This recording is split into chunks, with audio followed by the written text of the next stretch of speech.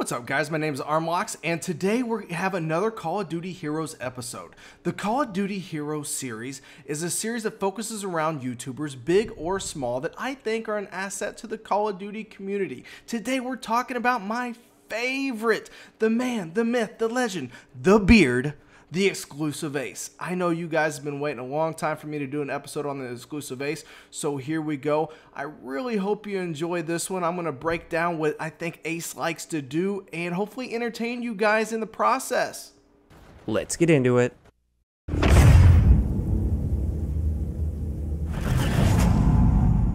I love you, man. Let's go down memory lane.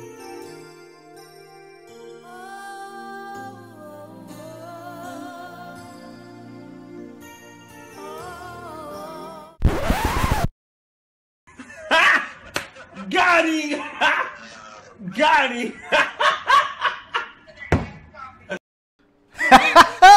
okay, guys, so now that we've effectively made Ace look at another man's hairy can, let me get serious on you guys. Let's talk about why Ace is a Call of Duty hero. Actually, we really shouldn't need to, but I'm going to anyway. Obviously, it is obvious. But um, what he does for the Call of Duty community is unlike any other current YouTuber, okay? There's lots of people out there that are either pub stomping or they're doing the odd video here and there, but no one outside of maybe Tabor Hill takes the time and uh, to upload uh, daily about tips and tricks and actually does all kinds of uh, hand testing in regards to the range of all the guns, the line of sights for the maps, um, he gives us uh, the breaking Call of Duty news all the time. If there's ever a tip or trick or anything in the game that's relevant, the exclusive Ace makes a video on it, man. So it's very obvious why he's a Call of Duty hero.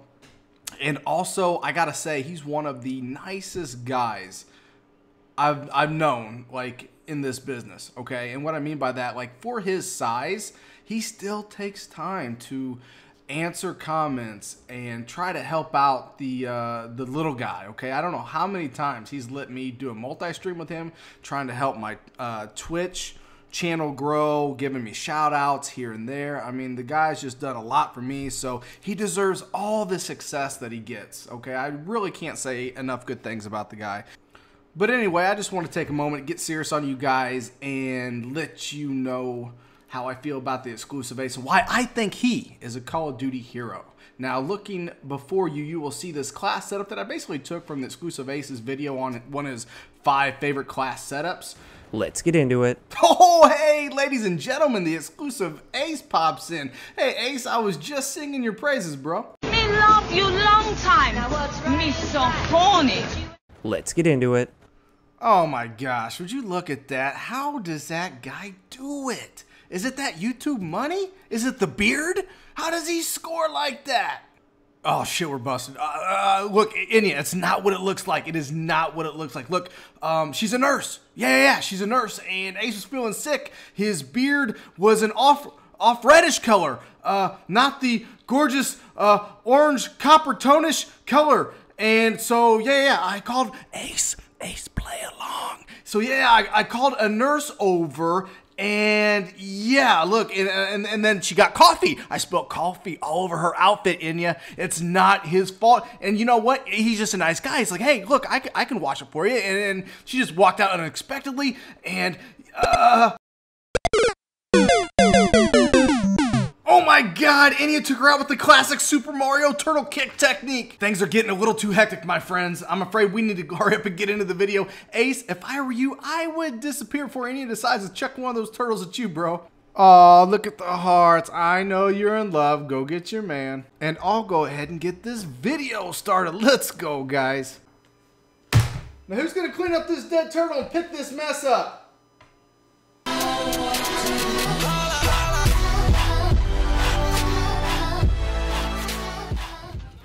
Okay, everyone, so my goal is to use the exclusive Aces class setup and to win the game and, and uh, lead the lobby. I mean, that's that's my goal. Um, I didn't even, like, if I wanted to, like, just go off with this class, I probably could have took a week and maybe just had something amazing. But I said, you know what, I'm going to stay somewhat true. I'm only going to play a few games here. And uh, just let it roll. And this is like, uh, I think this is actually the second game that I play. The first game I actually show some highlights of in the intro at the very beginning, but the problem is the audio didn't record for some reason. So I'm like, ah, heck with it, I'll just use that for intro. And the rest is uh, legit. So here we go. So uh, I'm getting laid down here early on. Kind of a slow start. Um, on this, this is actually one of my favorite maps, Mayday.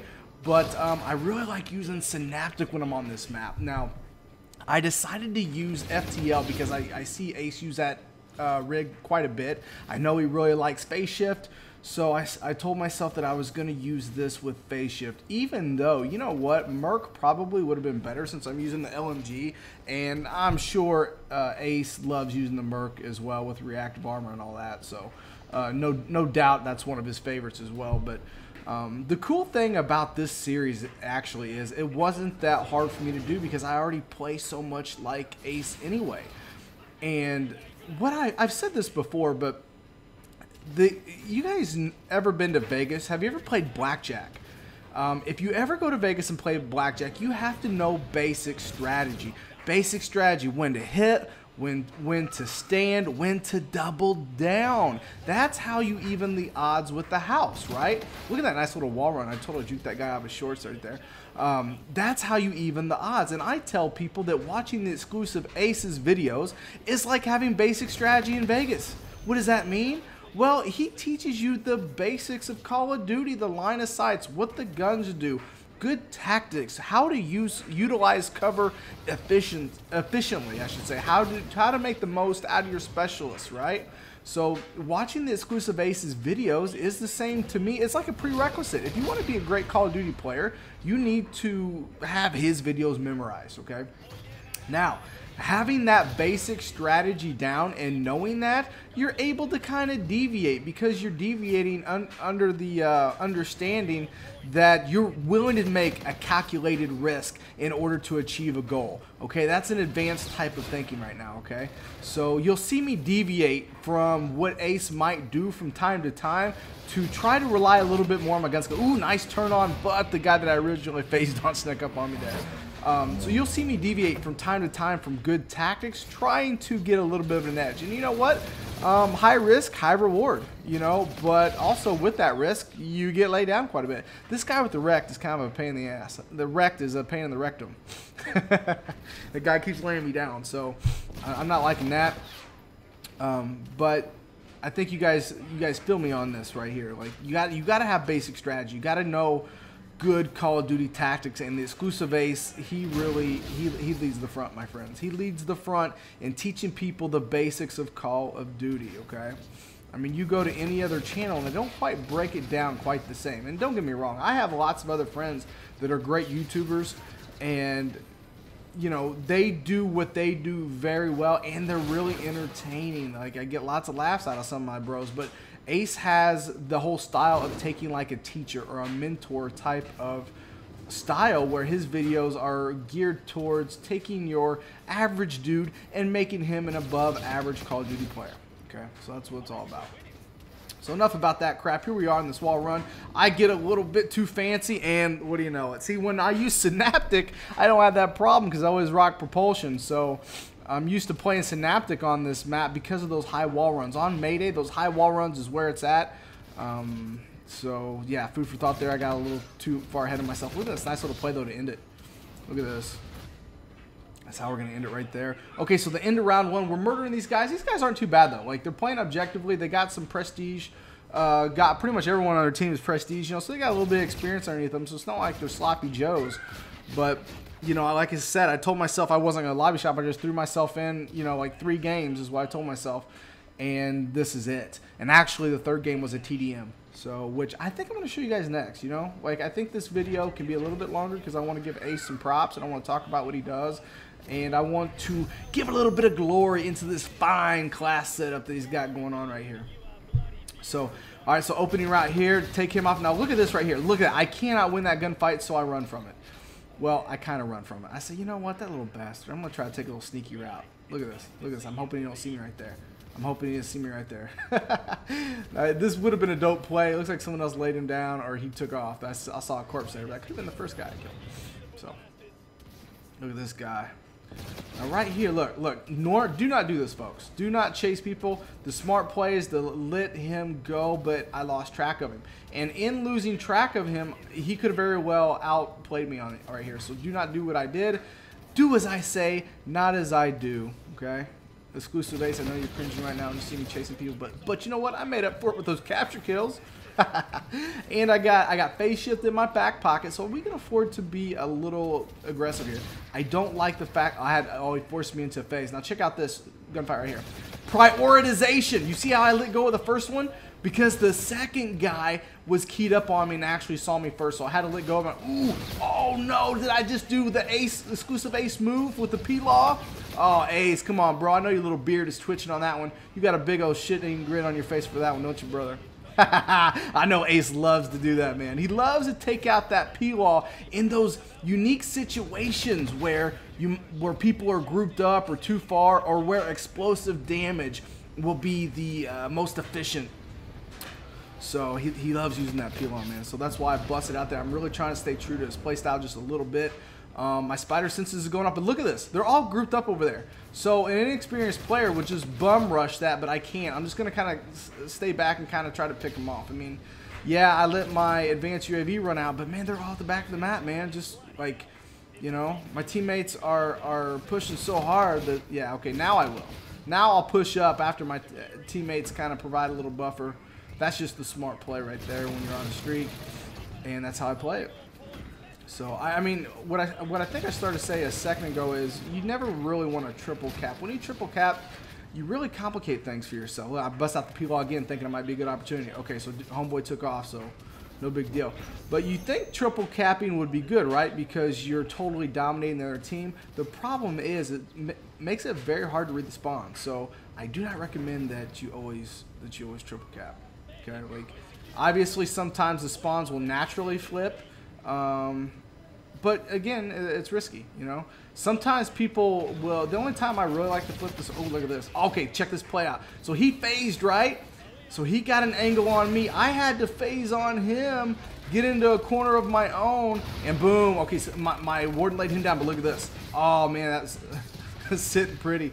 So I'm teeing myself up very nicely here. I'm on a ruthless. I'm laying him down. Absolutely, absolutely going ham in their spawn here. Now I had to pick up this VPR because I ran out of ammo. The exclusive ace was not kind enough to allow me to have scavenger. He uses hardline on this, so I had to pick up a, VPR because I'm, I'm, going on a little bit of a streak here.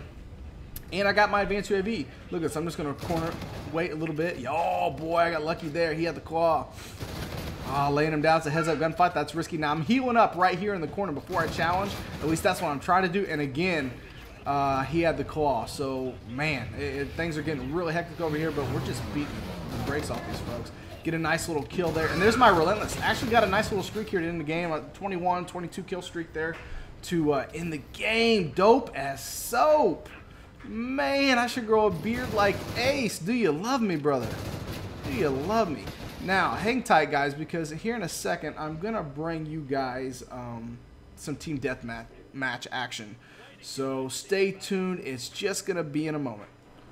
So here we are on the map Terista using the exact same class setup that Ace gave us. And I told myself, you know what, I know Ace also likes to play TDM, so for the sake of changing it up, I thought, you know what, I'll throw a TDM in the mix. This is actually my third game that I'm playing with this setup, and uh, the final one. I told myself I'm just going to let the cards fall where they fall here. If I do well, great course, I really want to do good, right? But uh, if I don't, then that's just the way it is. You know, I'm going to stay true and just let you know, let it happen. Let it happen.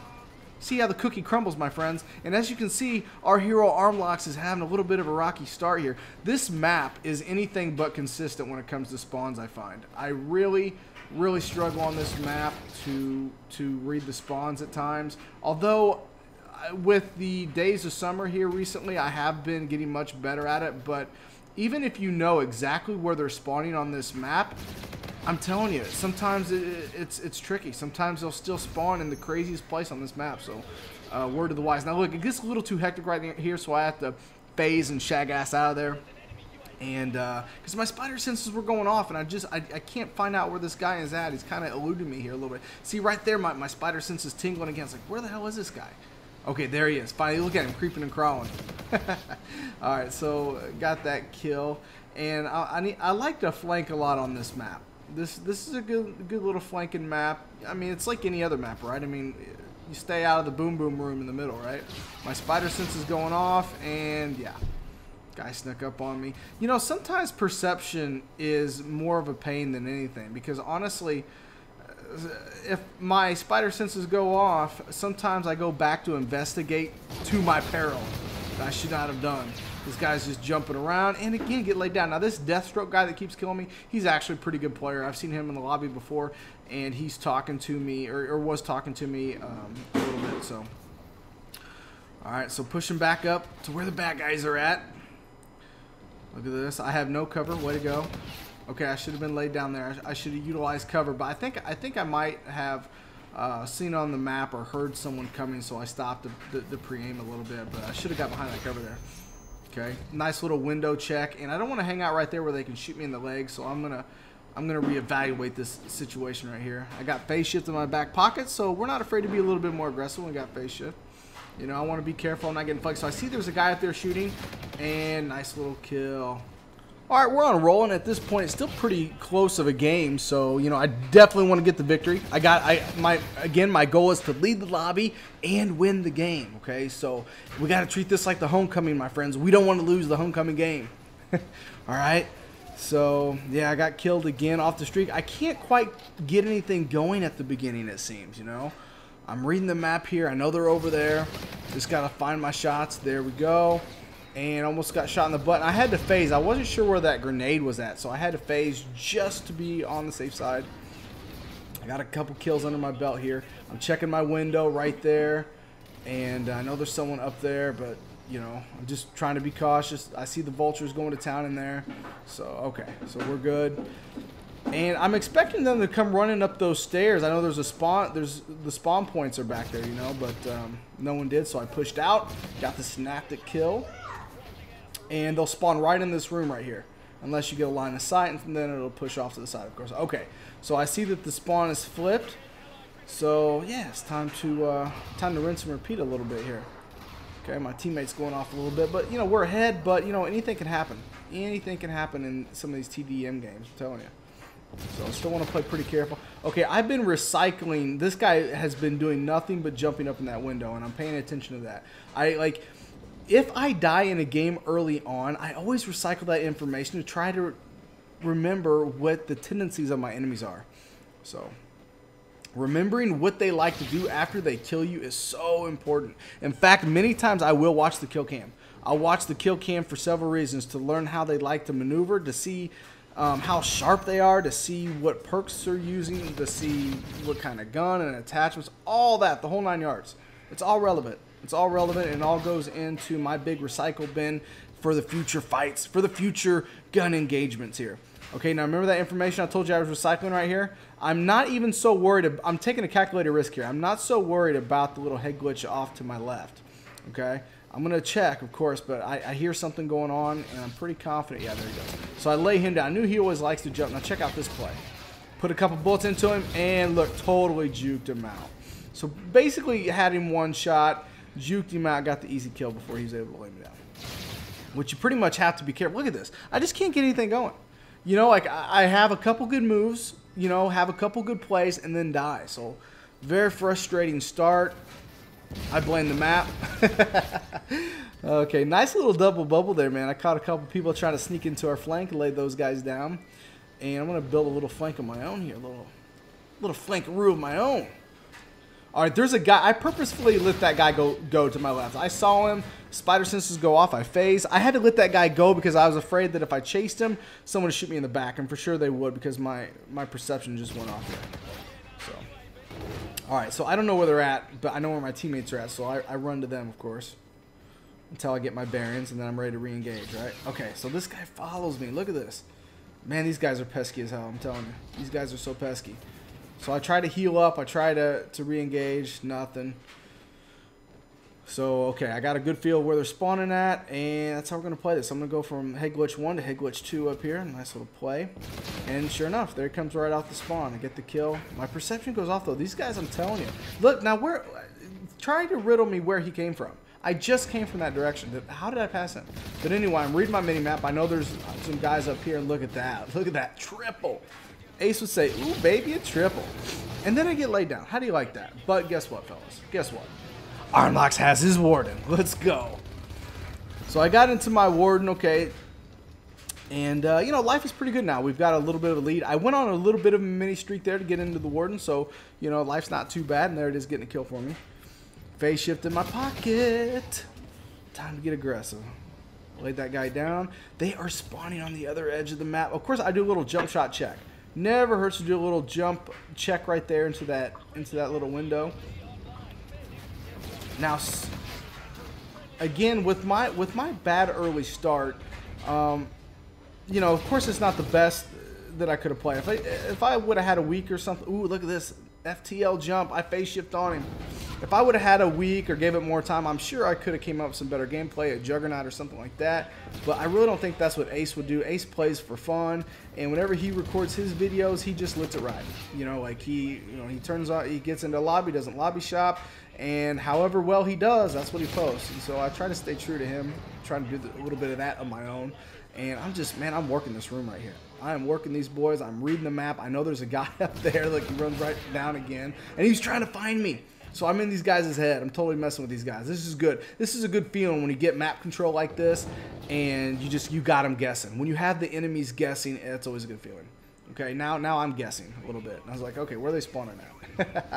good thing this game is coming to end. Shot him in the back, and, and look at this. Oh, nice little play. I'm kind of proud of that one.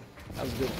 Oh, now that's the Armlockz we've come to know and love, my friends. Now we're on a roll. We're into our second warden and on a TDM, so you know it's all good. You know we're having a good game, so you know, I mean, that's pretty much the gist of it. The game ends right there, but more importantly, and I know this is a long video for you guys, but I wanted to, you know, spend a little extra time on the Ace video and give him props because he really deserves it. So thank you everyone for supporting my channel. I really hope you enjoyed this. But more than anything, thank you to the exclusive Ace because you are a Call of Duty hero. Armlockz is out. GG Armlockz.